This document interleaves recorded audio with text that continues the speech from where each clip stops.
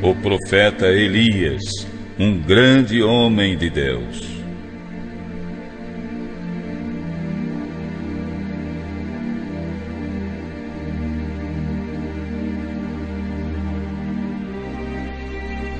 Jesus queria saber o que as multidões pensavam a respeito dele. Então reuniu os apóstolos e perguntou: Quem dizem os homens que eu sou? Eles responderam: Senhor, uns dizem que és João Batista, outros que és Elias, outros que és Jeremias ou algum dos profetas.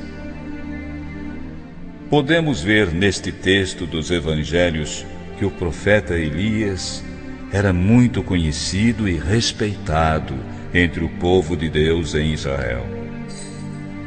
Ele foi usado por Deus para pregar contra a idolatria e as injustiças, principalmente dos governantes.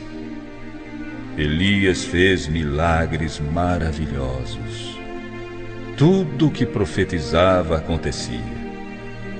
Ele predisse uma grande seca, orou para que chovesse, ressuscitou o filho de uma viúva na cidade de Sarepta, dividiu as águas do rio Jordão, enfrentou os profetas de Baal no Monte Carmelo e foi arrebatado para o céu numa carruagem de fogo com data e horário marcados. Também, quando Jesus e seus discípulos subiram para orar no Monte Tabor, o profeta Elias foi carinhosamente lembrado. No momento mais importante do encontro, quando o Senhor se transfigurou na frente dos apóstolos, o coração deles se encheu de paz. No livro de Reis, acompanhamos episódios emocionantes na vida deste homem de Deus. Elias teve a vida toda uma fé inabalável e viveu para amar e servir ao Senhor. Conhecer o profeta Elias, pelo que está narrado no primeiro e no segundo livros dos reis, vai nos ajudar a crescer muito na fé e na esperança.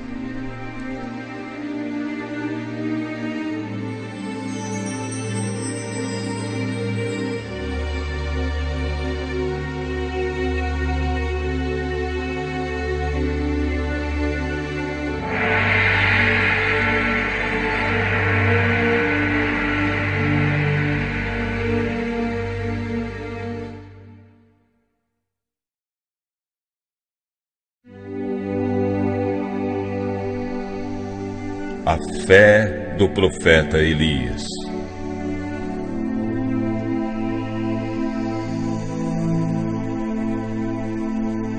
O profeta Elias disse ao rei Acabe: Em nome do Deus vivo, de quem sou servo, venho dizer ao Senhor que nos próximos anos não vai cair nem orvalho nem chuva, até que eu volte e diga que novamente o orvalho e a chuva vão descer sobre a terra. Em seguida, o Senhor disse a Elias: Saia daqui, vá para o leste e esconda-se perto do rio Jordão. Lá você terá água do riacho de Querite para beber. E eu já mandei os corvos levarem comida para você, enquanto permanecer ali eles vão sustentá-lo. Elias obedeceu à ordem do Senhor Deus. Retirou-se e ficou morando no lugar indicado. Ele bebia a água do riacho e os corvos, todas as manhãs e todas as tardes, vinham lhe trazer pão e carne. Contudo, passado algum tempo, o riacho secou por falta de chuva. Então o Senhor disse: Elias, Levante-se, prepare-se e vá até a cidade de Sarepta, perto de Sidom, e fique lá. Eu mandei que uma viúva que mora ali dê comida para você. Elias foi para Sarepta. Quando estava chegando ao portão da cidade, encontrou a viúva abaixada, recolhendo alguns pedaços de lenha. Então ele a chamou e lhe pediu: Por favor, minha senhora, me dê um pouco de água para eu beber. Estou com muita sede. Quando a mulher já estava indo buscar a água, ele a chamou e pediu: Traga-me também um pedaço de pão. Ela virou-se lentamente para trás, meio sem jeito e encarou Elias, talvez até pensando consigo mesma. Será que ele não sabe que estamos atravessando um terrível período de seca? Faltando água, falta comida. Foi aí que a mulher revelou o motivo de sua tristeza. Juro pela fé que tenho no Deus vivo que em minha casa não tenho nenhum pão de reserva. Tenho apenas um punhado de farinha de trigo numa tigela e um pouco de azeite num jarro. Vim aqui para recolher uns dois pedaços de lenha. Vou cozinhar alguma coisa para o meu filho e para mim. Ele e eu vamos comer. Depois disso, morreremos de fome. Não se preocupe, disse Elias. Vá preparar sua comida em paz. Antes, porém, faça um pãozinho com a farinha que você tem aí guardada e traga para mim. E não precisa ficar com medo, porque Deus prometeu. Não acabará a farinha da sua tigela, nem faltará azeite no seu jarro, até o dia em que eu, o Senhor de Israel, fizera a chuva cair. Então a mulher foi e fez tudo como Elias lhe dissera. E todos eles, inclusive Elias, tiveram comida durante muito tempo. Como o Senhor havia prometido pela boca do profeta, não faltou farinha na tigela nem azeite no jarro. Algum tempo depois, o filho da viúva ficou doente. Sua doença era tão grave que ele foi ficando cada vez pior, até que parou de respirar e acabou morrendo. Então a mulher, quando viu o filho morto em seus braços, olhou nos olhos de Elias e perguntou desesperada: Homem de Deus, o que o senhor tem contra mim? Será que o Senhor veio aqui para fazer com que Deus se lembrasse dos meus pecados? Veja só o que ele fez com meu filho.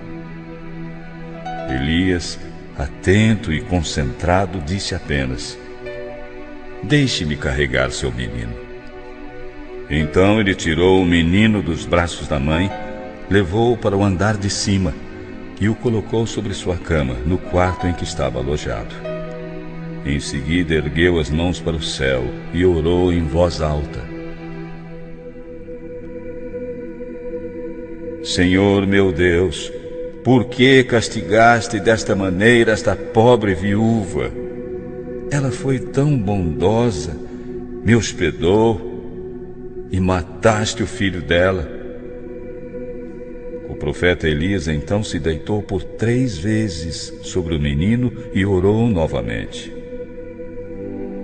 Meu Deus, faz esta criança viver de novo. Deus atendeu a oração de Elias. O menino começou a respirar outra vez e tornou a viver. Elias e a criança foram ao encontro da viúva. Ela estava chorando no andar de baixo, com o lenço na mão, as lágrimas correndo abundantes pelo rosto. Ela nem tentou olhar para cima quando ouviu o barulho dos pés de Elias. Mas ele disse, muito feliz: Olha aqui, pare de chorar. Seu filho está vivo, graças ao bom Deus. Então ela sorriu com gratidão e ternura e falou: Agora eu sei que o Senhor é mesmo um homem de Deus e que fala realmente em seu nome.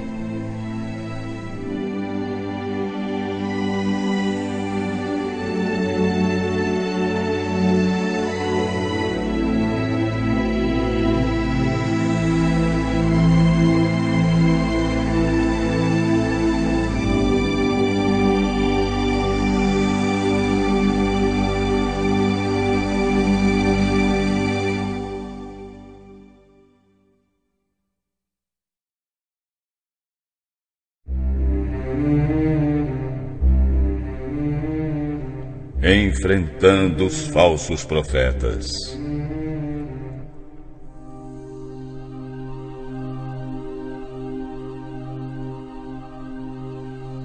Algum tempo depois, no terceiro ano da terrível seca, Deus disse: Vá apresentar-se ao rei Acabe. Fale com ele, pois eu vou mandar chover sobre a face da terra.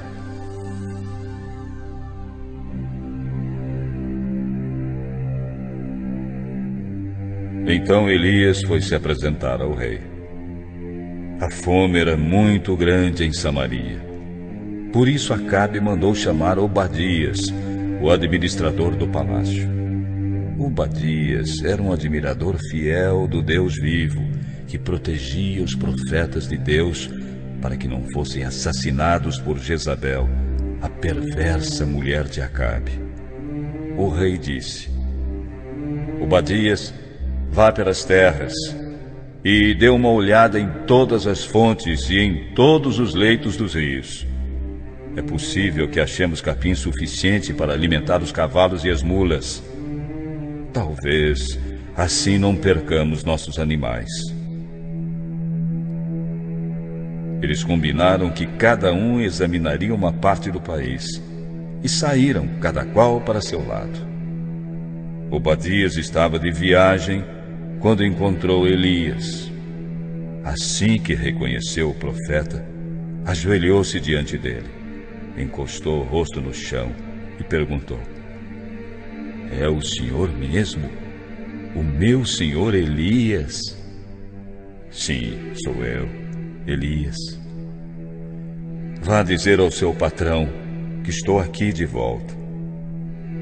Obadias, bastante assustado, disse: O que foi que fiz para que o senhor viesse aqui me colocar em perigo de ser assassinado pelo furioso rei Acabe. Juro por seu Deus vivo. O rei mandou procurá-lo em todos os países da terra. Sempre que um rei mandava dizer que o senhor não estava no país dele, Acabe, que é muito desconfiado, pedia a esse rei que jurasse que não havia sido possível encontrá-lo. E agora, o Senhor quer que eu vá dizer justamente a ele que está aqui, bem na minha frente? É possível que logo que eu saia daqui, o Espírito de Deus o leve para algum lugar desconhecido? Então, quando eu contar ao rei Acabe que o Senhor está aqui e ele não puder encontrá-lo, certamente vai querer me matar. Lembre-se, meu senhor Elias, de que desde menino eu tenho sido um fiel adorador do seu Deus. Por acaso não lhe contaram que eu evitei que Jezabel matasse uma centena de profetas? Que escondi cem deles em cavernas, em grupos de cinquenta, e providenciei comida e água para eles? Como pode o Senhor me mandar ir ao rei, dizer que o Senhor está aqui? Ele vai me matar. Mas Elias insistiu: Pode acreditar. Eu juro pelo nome do meu Deus. Hoje eu vou me apresentar ao rei Acabe.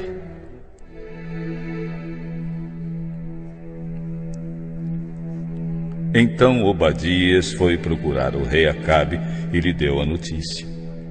E o rei saiu para se encontrar com Elias.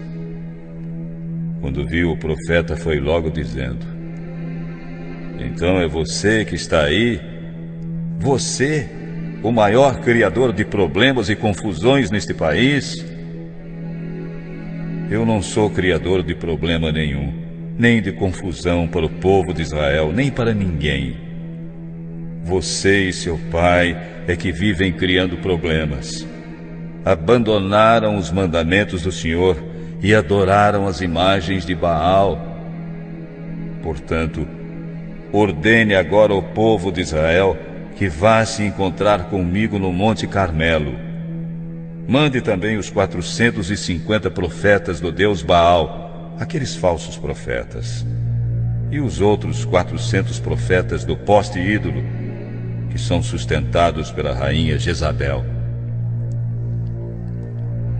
Com medo de que a seca não terminasse, o rei chamou todo o povo de Israel e os profetas de Baal para se reunirem no Monte Carmelo. Elias chegou perto do povo e disse: Até quando vocês vão ficar em dúvida sobre que decisão irão tomar? Nunca sabem direito o que fazer? Por quanto tempo ainda vão andar mancando com os dois pés? Se meu Senhor é o verdadeiro Deus, por que se negam a adorá-lo? Contudo, se acham que Baal é Deus, então que adorem Baal povo ficou mudo, não disse uma só palavra. Então Elias falou: De todos os profetas de Deus, eu fui o único que sobrou. Mas os profetas de Baal são quatrocentos e cinquenta. Agora tragam dois touros. Que os profetas de Baal matem um deles, cortem pedaço por pedaço e ponham em cima da lenha. Mas não ponham fogo, eu farei a mesma coisa com outro touro. Aí os profetas de Baal vão adorar ao seu Deus, e eu invocarei o nome santo do meu Senhor, o Deus que responder mandando fogo. Esse é que é Deus.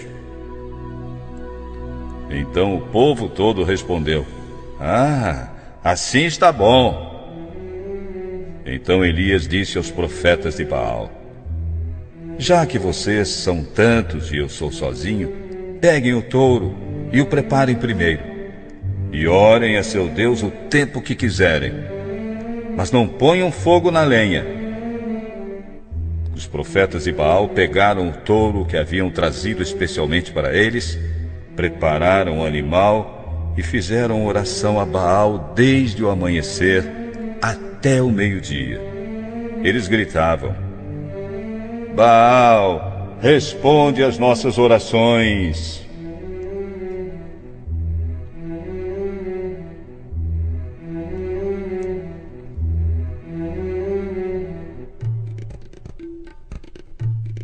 Punham-se a dançar em volta do altar que haviam feito, porém Baal não respondia. Ao meio-dia em ponto, Elias começou a caçoar deles. Orem mais alto, pois Baal é Deus, não é? Pode ser que ele esteja muito ocupado, meditando, ou tenha ido ao banheiro, talvez viajado, ou esteja dormindo, e vocês terão de acordá-lo, hein? Eles gritaram mais alto e, segundo o costume, começaram a se cortar com facas e punhais até derramarem sangue. Passou o meio-dia e eles continuaram ali, orando e gritando até a hora do sacrifício da tarde. Mas foi inútil. Nada aconteceu.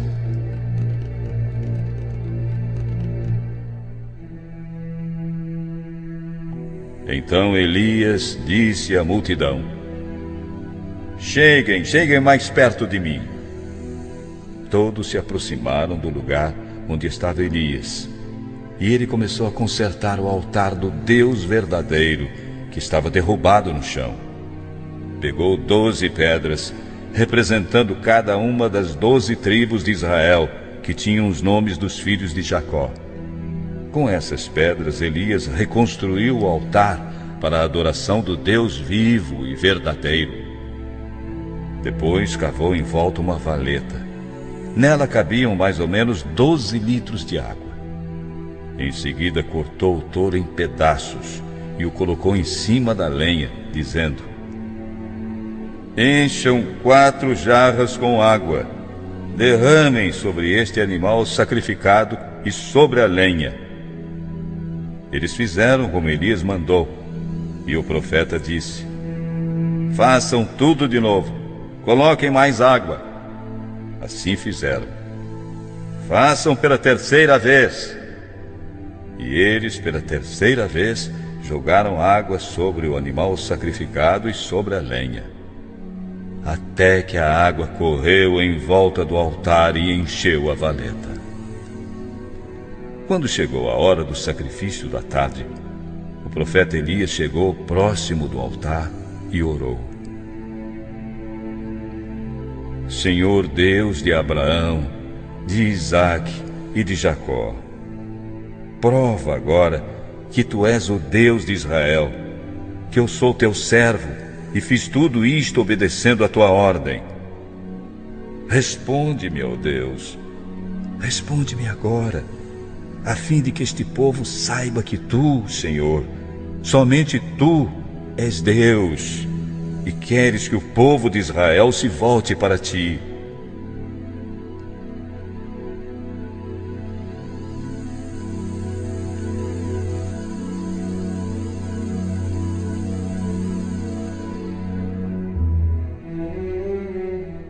Então o Senhor Deus mandou fogo, e o fogo queimou o sacrifício, a lenha, as pedras, a terra, e secou a água que estava na valeta. Quando viram isso, os israelitas se ajoelharam, encostaram o rosto no chão e gritaram: O Senhor é Deus, só o Senhor é Deus.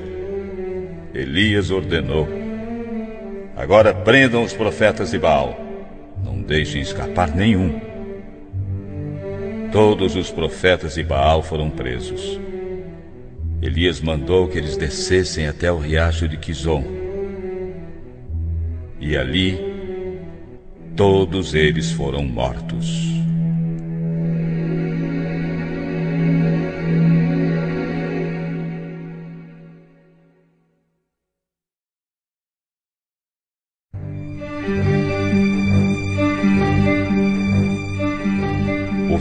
Da seca e da fome do povo.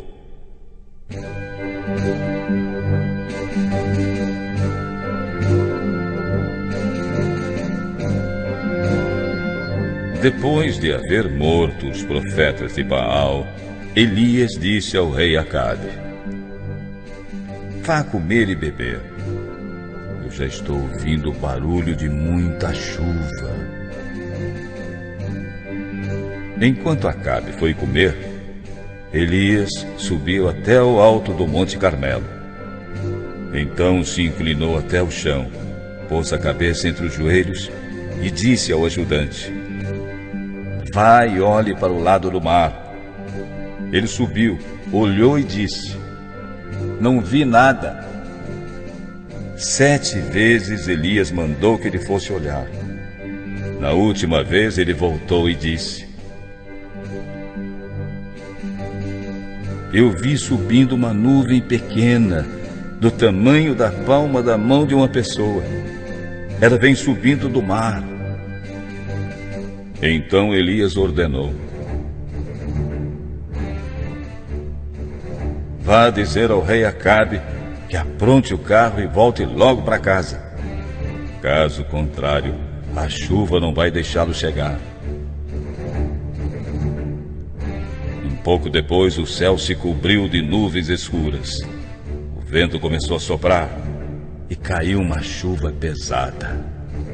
Acabe entrou no seu carro e partiu de volta para Jezreel. O poder do Senhor Deus veio sobre Elias.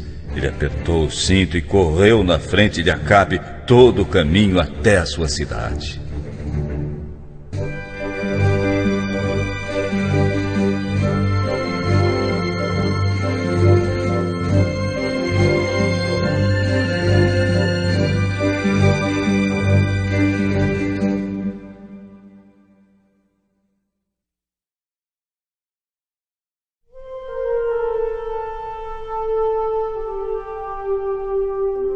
Elias no Monte Sinai.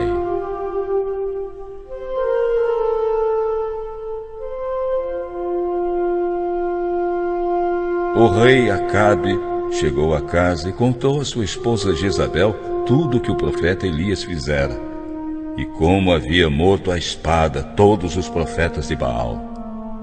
Então Jezabel mandou um mensageiro a Elias com esta ameaça: que os deuses me matem se até amanhã, a esta hora, eu não fizer com você o mesmo que você fez com os profetas. Elias ficou com medo e, para salvar a vida, fugiu com seu ajudante para a cidade de Berseba, localizada na região de Judá. Deixando ali seu ajudante, foi para o deserto, numa caminhada de um dia inteiro. Aí parou, sentou-se à sombra e sentiu vontade de morrer. Então olhou para o céu e orou: Já chega, Senhor. Acaba agora com a minha vida. Eu não passo de um fracasso, como foram meus antepassados. Profundamente angustiado, Elias se deitou debaixo da árvore e caiu no sono. Mas de repente um anjo tocou nele e disse: Levante-se e coma.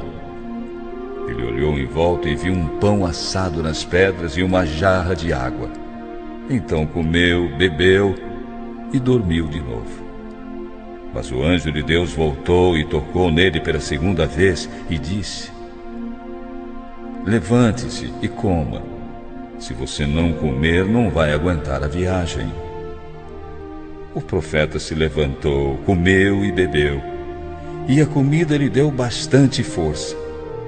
Então caminhou quarenta dias e quarenta noites até o Monte Sinai, o monte sagrado, onde Moisés recebera de Deus os dez mandamentos. Chegando lá, entrou numa caverna silenciosa e escondida para passar a noite. De repente, o Senhor Deus lhe perguntou: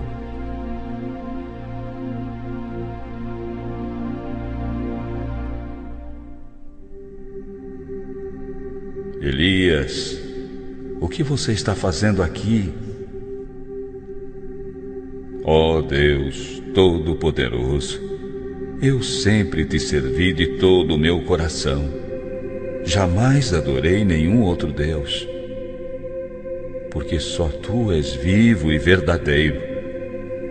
Mas o povo de Israel abandonou a aliança contigo, derrubou os teus altares e matou os teus profetas. Eu sou o único que sobrou e estão querendo me matar. Elias, deixe este lugar, saia daí e vá ficar diante de mim no alto do monte.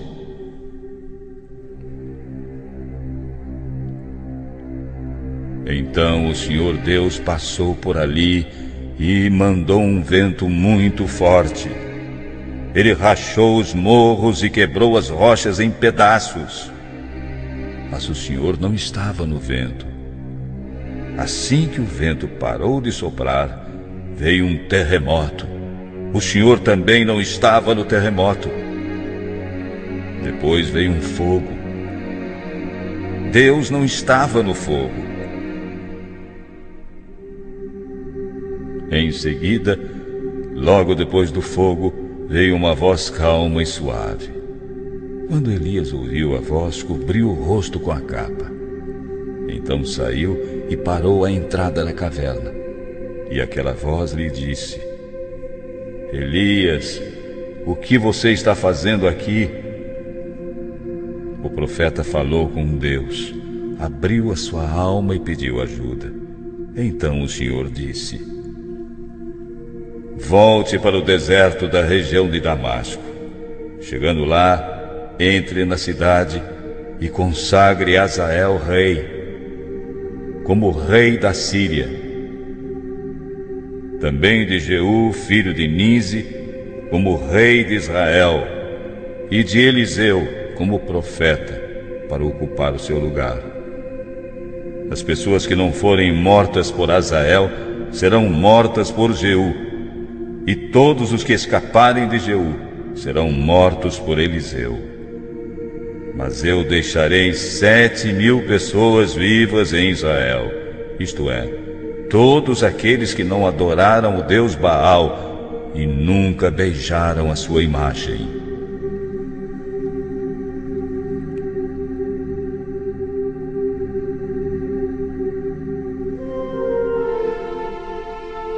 Quando Elias saiu da caverna e encontrou Eliseu, viu que ele estava arando a terra. Na frente dele iam doze pares de bois e ele estava arando com o último par. Elias passou perto de Eliseu e lançou seu manto sobre ele. Então Eliseu largou os bois, correu atrás de Elias e disse: Deixe que eu vá beijar o meu pai e minha mãe. Depois disso irei com você. Pode ir, disse Elias. Eu não posso impedir. Então Eliseu deixou Elias e foi e matou dois animais. Fez fogo e cozinhou a carne. Depois deu a carne cozida para o povo comer e todos comeram. Então saiu e seguiu a Elias e com ele ficou trabalhando como seu ajudante.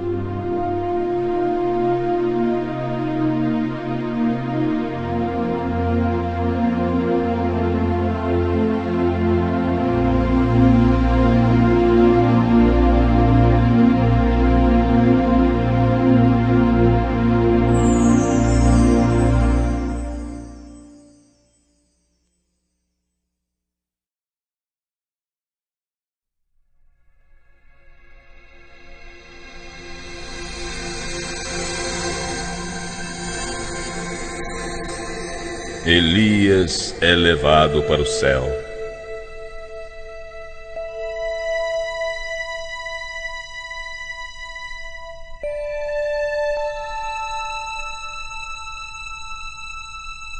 Chegou o tempo em que o Senhor levou Elias para o céu, num roda-moinho.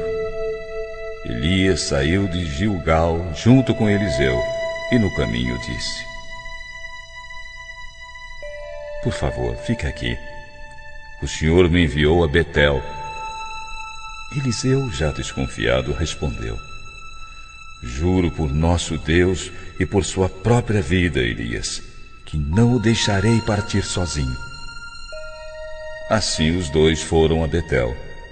Um grupo de profetas que morava ali foi falar com Eliseu e lhe perguntou: você sabe que hoje o Senhor Deus vai arrebatar Elias? Sabe que ele vai levar seu mestre para longe de você? Sim, eu sei. Mas não vamos falar nisso. Fiquem calados.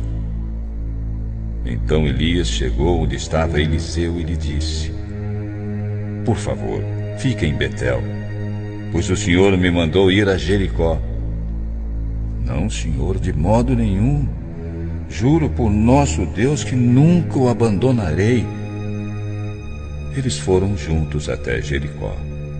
Então os filhos dos profetas residentes em Jericó vieram falar com Eliseu. Sabe que hoje o Senhor Deus vai arrebatar seu mestre? Eliseu disse: Já sei, mas não digam nada. Em seguida, Elias voltou dizendo: por favor, fique em Jericó. O senhor me mandou ir sozinho até o rio Jordão. Juro pelo Senhor nosso Deus que nunca o abandonarei. Então saíram Elias e Eliseu acompanhados de cinquenta profetas. Foram todos atrás de Elias até o rio Jordão. Elias e Eliseu pararam perto do rio e os profetas ficaram olhando de longe. Aí Elias tirou seu manto, o enrolou e bateu com ele na água do Jordão.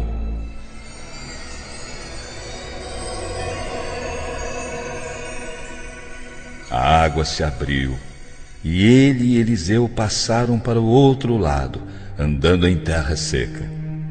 Depois que passaram, Elias disse a Eliseu: Diga o que quer que eu faça por você, antes que eu seja arrebatado da sua presença, pois o Senhor me levará embora.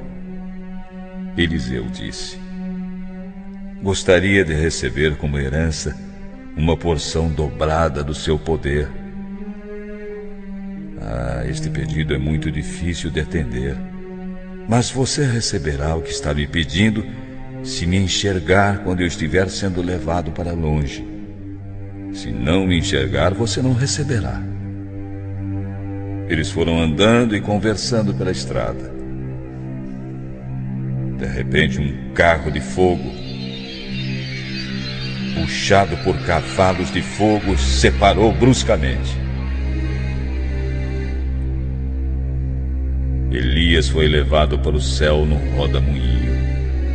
Quando Eliseu viu o que acontecera, começou a gritar: Meu pai, meu pai, o Senhor sempre foi como um exército para defender Israel. Eliseu nunca mais viu Elias. Muito triste, Eliseu rasgou seu manto pelo meio. Depois pegou um manto que Elias deixara cair no chão, voltou para a beira do rio e ficou ali, parado. Então bateu na água com o manto de Elias e disse: Senhor, Deus de Elias, onde estás?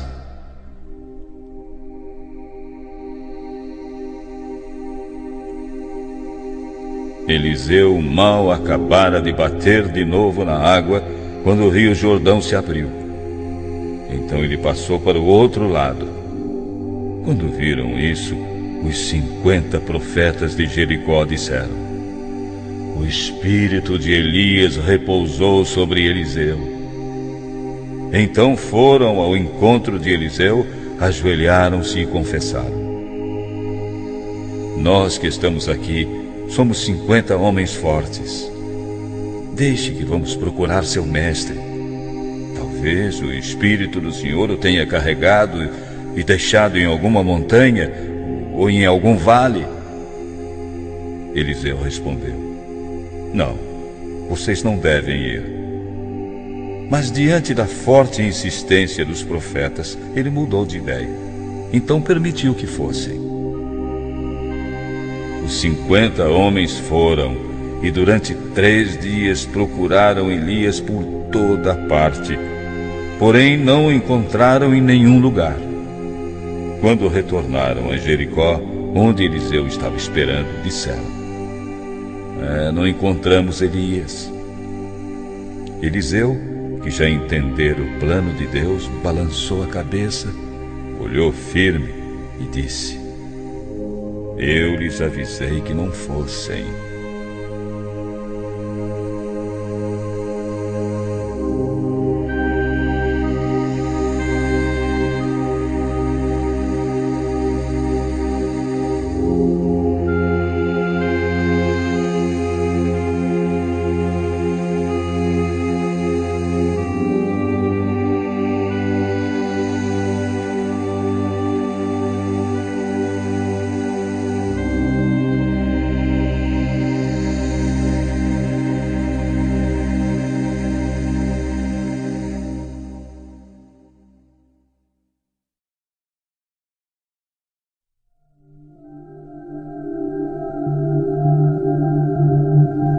As palavras dos bons são uma fonte de vida, mas na boca dos perversos mora a violência.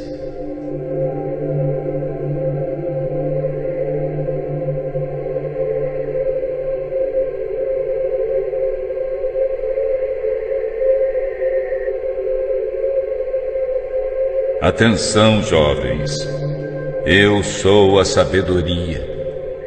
Aquele que me ouve será feliz. Quem me encontra descobre a vida, e o Senhor ficará contente com ele. Mas quem não me encontra se prejudica a si mesmo. Todos os que me odeiam amam a morte.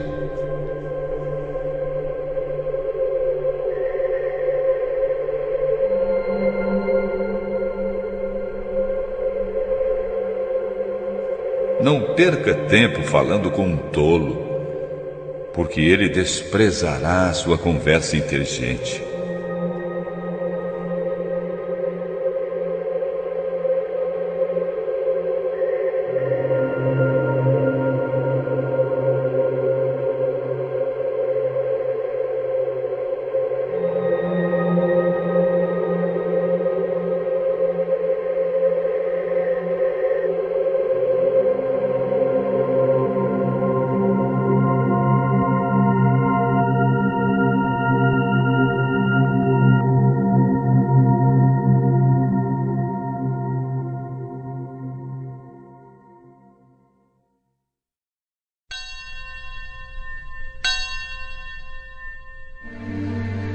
Profeta Elias, um grande homem de Deus.